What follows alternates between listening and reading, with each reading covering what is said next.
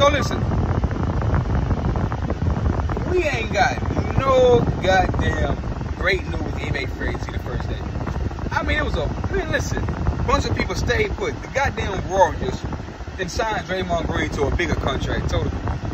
This what happened when you act a goddamn fool, right? When you act a goddamn fool, you get rewarded. This is what this culture about.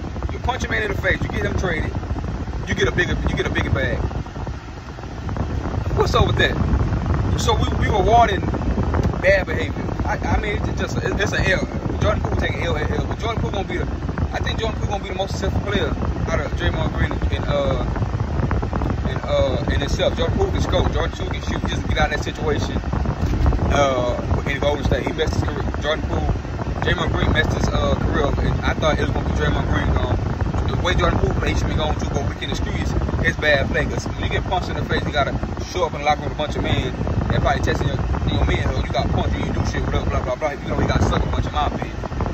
But whatever, I want Draymond Green, LeBron James, loving has to be gone. I swear, I mean that's my opinion. I want him to be gone. I don't like the fact that he can't shoot. He don't compete hard against LeBron. They, the Rockets play four on five with him. and They barely got a nigga that can put the ball on the floor. Only person can Steph Curry. Klay Thompson can't hit say.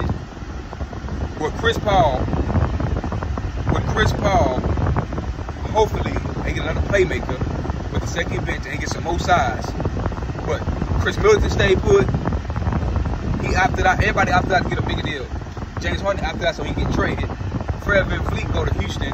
I like that piece of music. I'm out here in Houston myself. I'll be going to the game.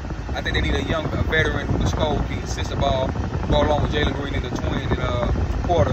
So I like that. And Sengun out there. So I, I like that piece. But it ain't gonna. They can buy him for. Uh, they can buy him for a playing spot.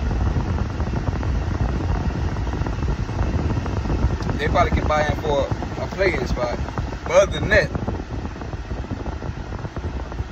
other than that, I ain't really feeling the free agency for Kyrie.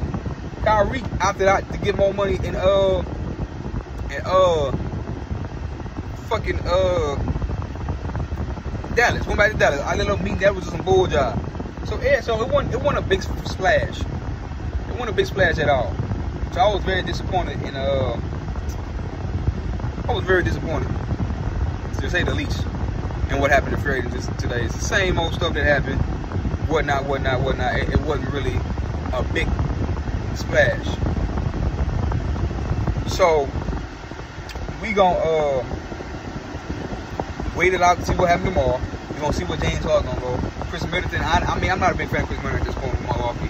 I, I just, I'm just not a big fan of, of, of him at this point in time. Tell me what y'all think about uh, Khris Middleton and uh, him opting back in to get a bigger deal. That's what all they were doing. But I was hoping for something worse than that. You know what I'm saying? Anyway, tell me what y'all think. Like, subscribe, share the video, comment this video. What y'all think about the first day of free agency? Did y'all, did y'all, did they overhype us with all this noise? Did nothing really happen? Tell me what y'all think. Y'all comment, subscribe, share the video. See you on next. Peace.